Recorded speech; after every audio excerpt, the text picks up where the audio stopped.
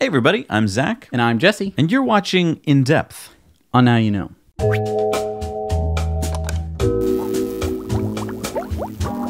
Sponsored by a betterrouteplanner.com.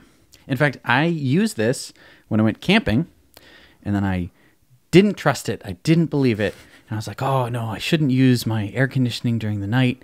And then I woke up the next morning and I realized that I could drive all the way home with the battery power that I had left. Oh, so it was right. It was absolutely right, and I was absolutely wrong. But I was in the woods and I was scared. And brought to you by ecowear.us. Now, Jesse's wearing a new uh, t shirt, but this doesn't make sense. It says Rich Rebuilds on it. Uh, yeah, Rich Rebuilds is on EcoWear. Nice. Yeah, so go support us and Rich Rebuilds. And, uh, you know, we plant a tree for every T, even if it's a Rich Rebuilds t shirt. So, what are we talking about this week, Jess? So, a couple weeks ago, Bernie released his $16.3 trillion Green New Deal. So, what does it involve? So, it calls for decarbonizing transportation and power, the two largest sources of emissions in the U.S., by 2030, which would lower U.S. emissions by 71%. Yeah, the plan says that the cost of doing nothing is far more expensive. And this is going to be paid for by a bunch of things. First one is the income tax revenue of the 20 million new jobs created by his plan. So that'll make 2.3 trillion dollars in tax revenue. Then there should be the estimated 1.3 trillion dollars saved through a reduction needed for safety net programs because obviously those people will now have jobs. Uh, there'll be a 1.2 trillion dollar savings from reducing military expenses relating to protecting oil shipping routes. Uh, don't need to protect the oil anymore because there won't be any. And they'll be ending fossil fuel subsidies, and instead, they'll be taxing that industry. That is huge because Yes. right now we basically just hand the money every year instead of taxing them. And then some more things, which are, I think, pretty cool. Uh, pursuing criminal prosecution of fossil fuel companies, which no one ever seems to want to talk about, but Right. they knew things back in the 80s and they kept going with ruining our planet. So, yeah, let's criminally prosecute them. Uh, complete decarbonization by 2050, new wind, solar, and geothermal projects. There should be a creation of 20 million jobs in building energy efficient cars and boats, energy efficiency retrofitting of homes, sustainable agriculture, engineering, research, and development. And then, at the very end of the Green New Deal, there was one little teeny tiny point. Oh, what? What It is it? was what? What is it, Father? It was just three words, and it was electric school buses. Okay, why school buses? Uh, because we can convert them to all electric so they don't burn diesel anymore. But who cares about a few school buses? We were just talking about some really big things there. Well, actually, there are 460,000 school buses in the United States. Now, you might be that's a lot. saying, oh, but, you know, regular city buses. Transit buses, there's only 150,000. Wait a minute. There's three times more school buses than like city buses. Yes. School buses travel more miles as a fleet than transit buses do, and on any given day that school is in session, school buses will transport more passengers than all U.S. domestic airlines combined. Let me get this straight. Kids on school buses traveling, that's more than the number of people traveling on U.S. domestic airplanes going to Florida and going to California and stuff. Yes, and according to a statistical characterization of school bus drive cycles collected via onboard logging systems, school buses on average only travel 32 miles per day. So there is plenty of excess battery capacity because most buses won't use all of it. You, just said excess battery capacity. What are you talking about? Well, if a school bus only has to travel 32 miles a day and still needs to be able to go on a field trip, that means you're going to have some excess battery power. Wait, so you're talking about converting all of our existing school buses into electric school buses? Yes. Um, that sounds really hard. Actually, there's a great uh, Jalopnik story that talks about how easy it would be to retrofit some of these buses. Because, I mean, these are not luxury cars. You know, they don't have, you know, really nice wood paneling or, you know, very fancy plastic handles and stuff like that. A school bus is basically a metal box with wheels and a motor. I mean, they are not that complicated. I mean, they're made out of I beams and sheet metal. So, I mean, you're just saying basically slap some batteries and a motor on there and take Right. out the old diesel engine and the other stuff. there's so much room underneath the bus, um, mostly just for the exhaust system and just the way that they're manufactured, that there is tons of room for batteries. And of course, you don't need great performance in a bus, so the 0 to 60 time really doesn't matter. So they can be fairly underpowered as long as they can make it up most hills. And I guess I mean you could just make a few kind of kits like conversion kits because there's only a few different bus types, and then basically once you figured out like, oh, here's the battery kit, here's the motor kit, connect them together, you're good to go. Like, Right. And I mean, think about it this way Teslas have a seven or eight year battery warranty. Okay. But as these batteries eventually dip below 70 or 80%, um, which is the warranty range uh, degradation, um, they can be recycled into school bus batteries because. whoa, whoa, whoa. If they're no good in an electric car, why would they be good in an electric bus? Well, because A, you can pack way more into the electric school bus. Okay. They can be a lot cheaper since they've already been used for the premium, you know, part of their life, which is, you know, where you're getting the full 100% out of the battery. Um, once the degradation really kicks in after about seven or eight years. But aren't Um, they just trash then? No, you could use them for either battery storage. So, like, you could use them in, in say, like a Powerwall or something like that, where it doesn't really matter that they don't have the full range. Or if you pack them onto a bus, you know, it's not as efficient because the energy density isn't necessarily as good, but it doesn't really matter because, again, it's a school bus. So you're still going to get years of life out of the battery after it's used up its life on like a Tesla or a Leaf or something. Oh, absolutely. So, yeah, you could recycle uh, the batteries out of a Tesla, either taking uh, just the whole pack out or uh, down to some sub component like the cell level if you really needed to. That's a really good point because school buses are notoriously top heavy with lots of, you know, kids riding high up in the bus and then the really heavy diesel engine which is high up on the bus. And so a lot of accidents that happen with school buses are rollovers. Right. Now you're talking about slapping batteries onto the lower part of the bus so that you're making the center of gravity lower and so you're going to drastically reduce the number of the most common accidents which are rollovers. Right. And, you know, any weight you can add to the bus does make it safer. I mean, school buses are surprisingly safe, especially since most kids don't use seatbelts. All right, now sell me on any other points you have uh, to make me want to do this. Well, I mean, uh, we'd have to devote a whole episode to that. We did. Which we're going to do. So I think that one of the first big points here is that there's going to be far less maintenance on an electric school bus than you would have on a diesel school bus. Okay, but give me some numbers. Don't just say like you'll spend a little less. Sure. So, according to the CGI uh, VTG EV School Bus Working Group, there would be a $4,400 a year reduction in maintenance costs What every year? per bus.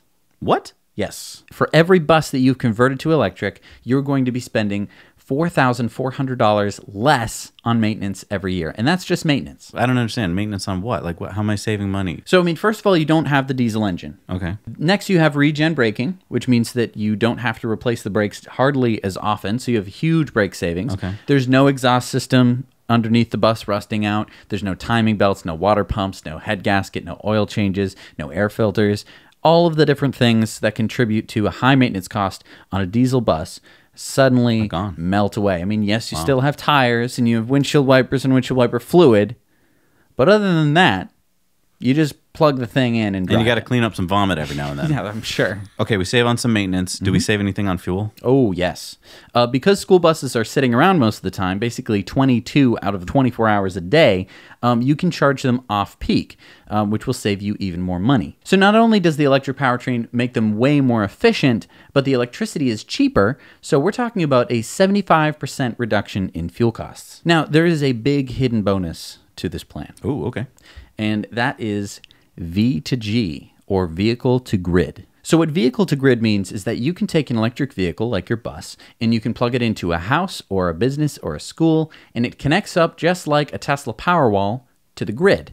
So there'll be a computer on board the school bus's battery that communicates with the grid, and it can either take power out of the battery when the when the grid needs power, or it can charge the battery when the grid needs to shed some power. Basically, this is doing the job of a peaker plant. I don't get it. What does this mean? Picture solar panels covering the roof of your local school. Okay. Now, the school bus pulls up in the morning with say 20% left in its battery. Okay. It lets the kids off at 8:30 a.m. and then it stays plugged into the school in the parking lot, soaking up all that solar power. So if at noon for some reason the grid needs more juice because it's too hot out and a lot of air conditioners have turned on, um, then the bus's batteries will give the grid power for a while uh, to even out the load.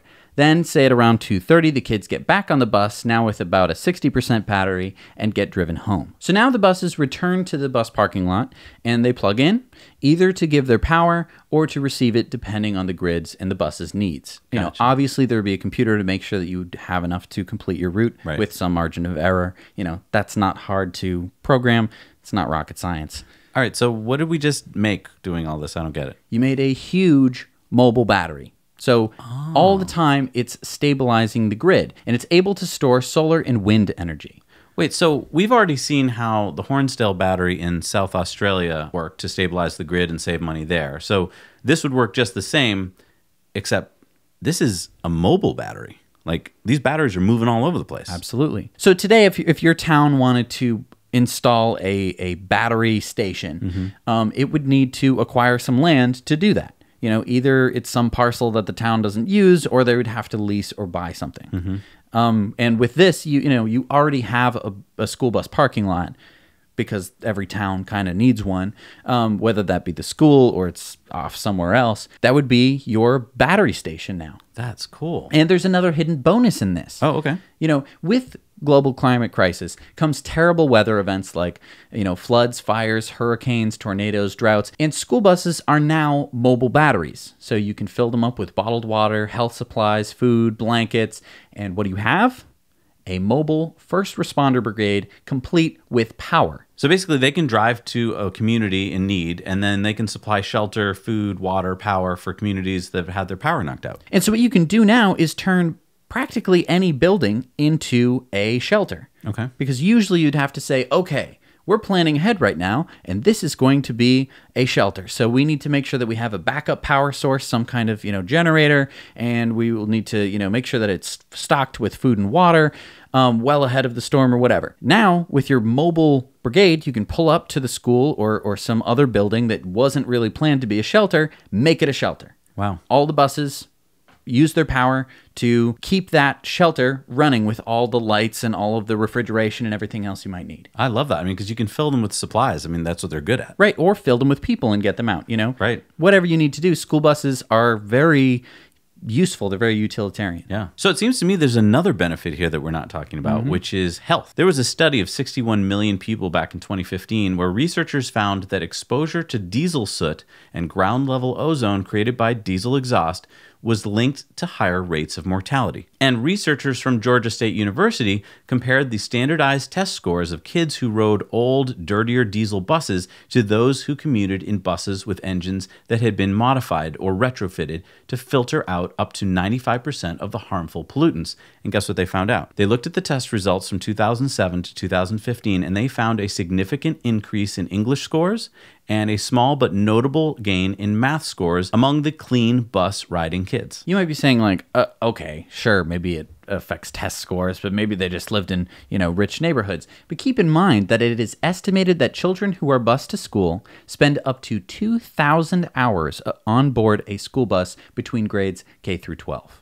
2,000 hours. 2,000 hours. wow. And I mean, that's the time that they are on the bus. Wow. And get this Jimmy O'Dea, a senior vehicles analyst for the Union of Concerned Scientists, said the scientific literature is really showing, with study after study, nearly every organ system in the body is at risk from higher exposure to particulate matter. Everything from the lung diseases that you might typically associate with bad air quality to heart and neurological diseases are being found to increase health risks from more exposure to these pollutants. So, on top of all of this, replacing all of America's school buses with electric buses could avoid an average of 5.3 million tons of greenhouse gas emissions each year. That's just like a little icing on the cake, right? Because, I mean, the stuff that we've been talking about is huge. Is Yeah. super important. I mean, we're talking about big savings for the towns themselves. We're talking about health benefits for students. We're talking about awesome big battery storage facilities that are on wheels that you can bring places. Um, really, really cool stuff. Yeah, but you know what? I know a lot of you out there are listening right now and you're going, Zac and Jesse, again, with this pie in the sky stuff, it's never going to happen. Why are you talking about it? Well, it's actually happening right now. Virginia Governor Ralph Northam, he said these buses will be quieter, more efficient, they are safer, they have seat belts. Now what he's talking about is phase 1 of a plan that has started with 50 electric buses.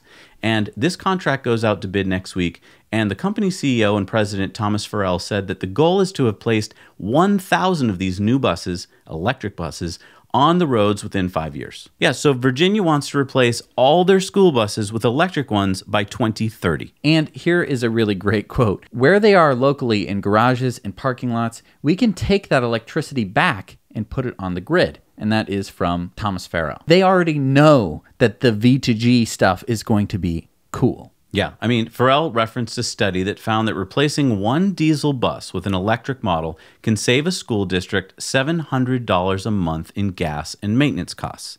$700 a month. Name me a school district that couldn't use that money. Exactly. I mean, a single school bus gets about six miles to the gallon and create as much carbon monoxide as five cars, according to data provided by Dominion Energy.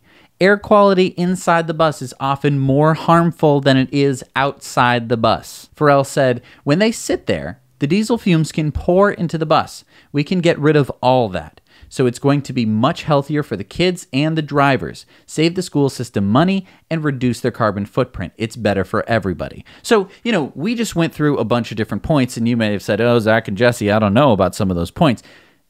Here's Virginia. Here is them actually talking about all the points we just discussed. Oh, and it's not just Virginia. In July, Kamala Harris, Bernie Sanders, and Cory Booker introduced the Clean School Bus Act in the Senate, and Representative Jahana Hayes introduced it in the House of Representatives. So this would authorize up to $1 billion in spending to help districts replace diesel school buses with electric ones. So get this children riding to school on buses every year, they travel more than 4 billion miles each year, according to NHTSA, and those rides cost nearly $10 billion a year. That's according to the National School Transportation Association. So you might be watching at home and saying, you know, but Zac and Jesse, that's a billion dollars if that bill passes of my hard-earned tax money. Yeah, I mean, that's that's what, like 11 F 35s that we could buy. Actually, it's only about three F 35s because you have to put maintenance contracts on them. So Oh, so with the maintenance, it's only it's only three. Yeah, because the most of the cost is maintenance and fuel and stuff. The one billion dollars would either get you basically to start electrifying the entire country's bus system, or it could get you three F thirty fives. So you're saying that four hundred and sixty thousand school buses cost the same as three jets? So to be fair, that's just to get the ball rolling. That billion dollars. Mm-hmm. It's going to cost something like twenty five thousand dollars or so to convert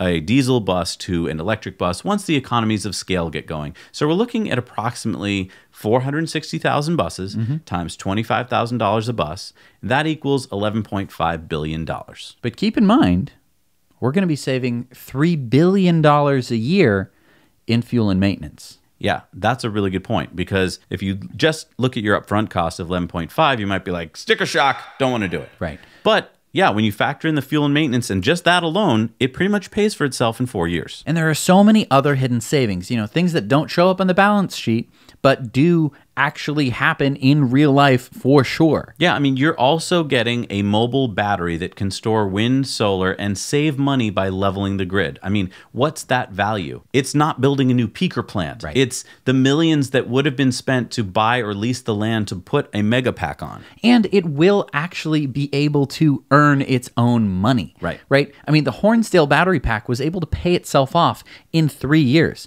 And that's just a battery that sits there. It doesn't drive children to school. It just sits there. It just collects wind and solar energy and distributes it to the grid. Right. It just stabilizes the grid. That's all it does. You'd be having this on wheels. Or how about this? The disaster relief that we're talking about. I mean, you would now be able to turn any building into a shelter. And let's just put the cost of one major cleanup. So if we remind ourselves of what it cost to clean up Hurricane Katrina, that cost 114.5 billion dollars in recovery. Right. So when a when a horrible thing happens, we spend a lot of money trying to help. And these converted school buses could go a long way to making that happen for people during crises. Mm-hmm. And there's another hidden savings. Yeah. And, and this one is, to me, it's it's almost insidious.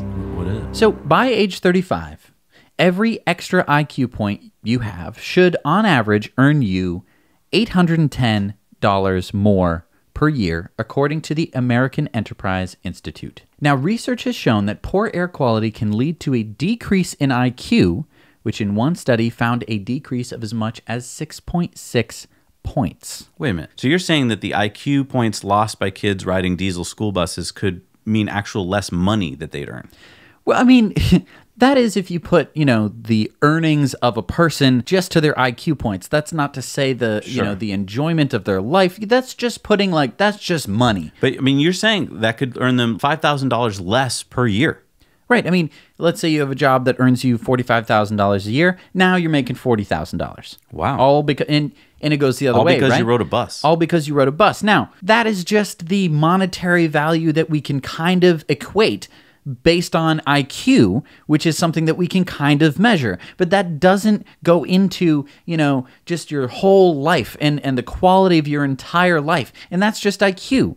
Right. I mean, we've we've said it many times before on the show. You can't put a value on health.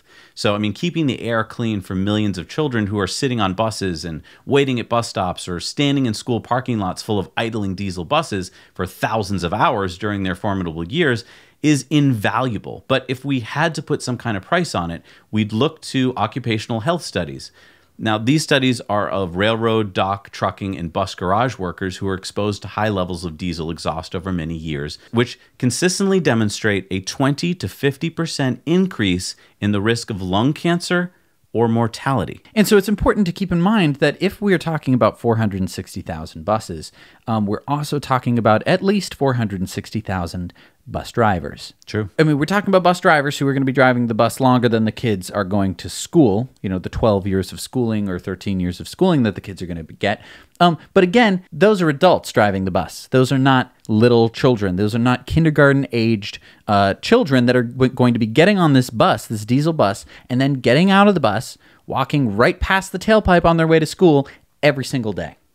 Now, I think we've laid out a pretty good argument for doing this, but Right. I, I still know that there's a lot of people out there who are going to say, you know what, though? This Bernie plan is going to cost a billion dollars, or if we do the whole plan, it's going to cost trillions of dollars. Right. And I think a lot of people immediately turn off whenever you talk about the government spending money to solve a problem. Right. They just immediately like, I'm not spending my hard earned tax money on that. And I think the problem comes from this we were never taught in school how government works. Well, I mean, I, there's the legislative branch, there's the judicial branch, and there's the uh, executive branch. Sure. And they all have checks and balances on each other, and the Constitution, and the Bill of Rights, and Well, let me ask you this. Uh-huh. If you go to the hardware store and you get the wrong color paint when you get home because Mm-hmm. they mixed it wrong, what do you do? I drive right back to the hardware store. I give them the paint, and I say, "This paint is the wrong color. This is ridiculous. I demand a refund, and I I want the right color paint." Okay. And uh, that gets taken care of, right? Absolutely. Okay. What happens when you get out of college? You've had all this great education, Mm-hmm. right? And uh, your city or town or your state is doing something you don't like. I would complain to my friends. Good. I would complain to my family. Uh huh. I might write something on Facebook. Okay. Is there I something I- else I'm supposed to do? well. I thought you were taught all about government in school. Why don't Why don't you know what to do? Um, there's a Isn't there a government working for you? there's Don't they take your tax dollars there's a and bill. I'm just a bill. Do you see where I'm going with this? We don't know what to do. So we get angry every year that goes by in our lives. We get angrier and angrier at this government that we don't know how it works. We don't know how to interact with it. We might write them a hateful letter. We might show up at a meeting and yell at somebody, but we don't know how to actually get anything done. I mean, the only interaction that you have with the government, if you're a law-abiding citizen, is your taxes. I mean, that's just about it. I mean, you, I mean, it's it's what the library and school and taxes. But I mean, taxes is what you're going to be doing the most You of. do it every day. I mean, when you buy something, you're paying taxes. Right. Uh, at the end of the year, you're paying your taxes. You're always paying taxes. And I know you're getting upset. It's like, I pay all this money to you guys, but you never listen to me. Right. And so when you hear someone like Bernie say he would like to spend some money to fix a problem, you go, "Oh yeah, you want to just spend my money on something? You don't listen to what I want." And I get that. And that's part of this problem is we have a lot of angry people out there. This money's going to get spent one way or the other. It's not like we're not going to have a government, right? We have a government that spends trillions of dollars. So whether you hear about the bill or you don't, there's trillions of dollars being spent as we speak Right. but you hear about this one bill and this billion dollars and it sticks in your craw and you're like i'm upset about spending this money on this thing but let's let's take another look at this mm-hmm. you know some kids right maybe you got grandkids or kids yourself or your nieces and nephews or those kids down the street Well, I mean, let's forget about kids for a second. Electric buses will lower your electricity bill. they'll actually lower your taxes I mean, think about this for a second. What happens during the summer? Kids aren't going to school. The buses are sitting there all day long in the summer. Right. And so they're basic, you know, what's happening to the diesel buses right there? They're just degrading. They're just rusting. They're just falling into nothing. If they were hooked up to the grid and they were able to capture all of the summer sunshine and charge it up during the day and distribute it during the night, there you go. Your town could very easily become its own power source. Exactly. You've got all these town buildings, schools, municipal buildings, garages, which could be covered with solar panels and putting all that solar energy into mobile batteries. And now you don't have to pay a utility company for your electricity. You can your town can very easily as soon as they have these electric buses just say, "Okay, we're going to become our own utility. Exactly. We have the infrastructure. Maybe we need to, you know, build a couple more batteries, but these buses really have a big chunk of energy storage right here, and we could probably do it." And you might be saying, well, Zac and Jesse, that's crazy. I've never heard of any municipality owning their own power company, but lots of them do. Right. My friend has an electricity bill of 6 cents per kilowatt hour. I, on the other hand, have an electric bill of 22 cents per kilowatt hour, and we live about 15 miles apart. Yep. It's his municipality that is giving him that insane, insane benefit. Yep. And if you have an electric car, like we were doing the math, he could have paid for a Model 3 with the amount of savings that he would have gone from his gas burning truck to a Model 3. He would have been able to pay just with the gas savings alone. He would have been able to pay for that car. That is what we're talking about. The, eh, you know, and and that is just your electric bill. Right. We're not getting to the taxes because electric buses are cheaper to maintain and they're cheaper to fuel. It's just that simple. And this is just the tip of the iceberg. This is just one little piece of that plan, one little idea that, if you really think about it, saves so much money and makes so much sense. But yet, our media doesn't delve into this. You don't hear stories about it. Why? Because there's not people yelling at each other. That's what they want. The story is all about keeping people angry at each other. They don't want you solving problems. And that's what we need to switch to is a system where we're just talking to one another and coming up with great solutions. Wouldn't that be a much better place to live in than a world where we're just yelling at each other all the time about you're wrong? And in a place where we're fumigating our students as they get on the bus. Yeah. I mean, it should be a no brainer. It should be Democrats, Republicans, Libertarians, shouldn't matter. This plan makes sense across the aisle and across countries. Anyway, I hope it makes sense to you. If it does, contact your local school committees, contact your local representatives, and tell them, hey, I want electric school buses. And you know what? If you're thinking about presidential candidates, we don't care who you vote for, but make sure that the candidate you're voting for is on board with stuff like this. So when they come to your town and they start saying, hey, can I have your vote? Say, well, let me, wait, hey, hang on a second. Have you heard about converting to electric school buses? Because the person who does that has got my vote. Right. And if they hear that from enough people, they'll go, uh, what- what's this thing about electric school buses? Right. Add that to my plan. Anyway, we hope you really enjoyed this. Um, if you liked it, hit the like button. Again, I don't know if that has any bearing on anything, Well, but the- the- but you know what? It does have a bearing. I do see the number. And it Makes you me, feel good. Makes me feel good. Well, the other thing is that's how we as YouTubers uh, grow our channel. And by growing our channel, we get out to more people and we get our ideas and our thoughts out to more. So when you subscribe, it's free to do and it really does help us grow. Maybe hit the button. Yep. Thanks so much for joining us, guys. We'll see you next week. Now you Now know. you know.